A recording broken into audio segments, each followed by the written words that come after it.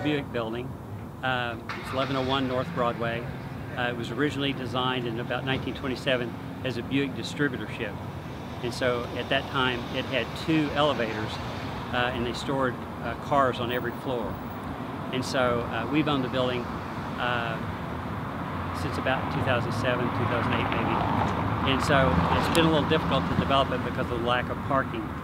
Uh, so we worked a deal out with the city of Oklahoma City to do a TIF project with this building, the Marion uh, Hotel, which is just south across the street, and then the building to the east of it, the Pontiac building.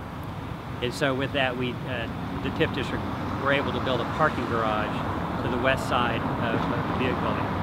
And by adding that parking, it made uh, all uh, three of those projects viable uh, because without the parking, there just wasn't uh, much you could do. And so anyway, with that, and in studying the history of the building, we found an old photo that shows uh, the sign that you see today. And so uh, Brian Fitzsimmons, our architect, uh, scaled it out and designed the sign that we knew would be become a landmark on Automobile Alley. The photograph that was found, and it seems to be the only copy, and no one knows actually where it originated, is extremely fuzzy.